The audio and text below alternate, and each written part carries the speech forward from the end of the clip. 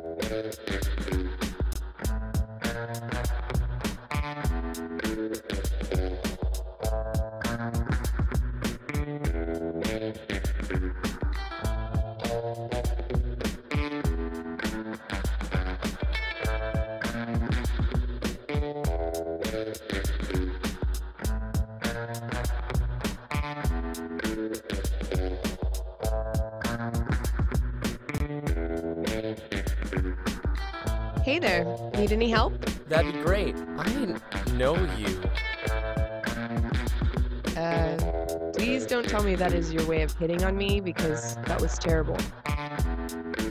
Oh no, I mean, not that you're, uh, like, uh, you know, attractive, or, oh man, I must sound pretty creepy. I'm never gonna make any friends if I creep people out. Uh, but uh, anyway, do you know Chess, Mike, and Ike? Calm down. I was just teasing. Wait, are you John? Chess's little brother? Yeah, that's me. I recognized you from that video Ike made for class. Oh, I told him to burn that. Damn it, Ike. Anyway, I wouldn't worry too much about making friends. Everybody's new and ready to meet people. A good way is to strike up a conversation with the person next to you about the class you're in, I guess I can do that. especially if your teacher is not so great. Then you'll have plenty to talk about. Thanks, Michelle. I guess I'll see you next class. Definitely call me if you need anything. Hello? Hey, John, how's it going? Chess said you could use some advice. uh, I guess word travels fast. So, there's this girl.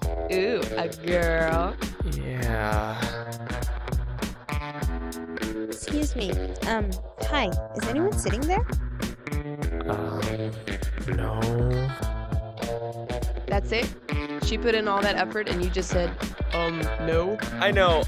I'm such an idiot. Uh, maybe a little.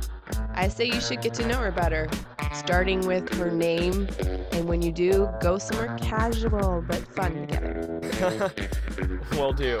I'll talk to you later.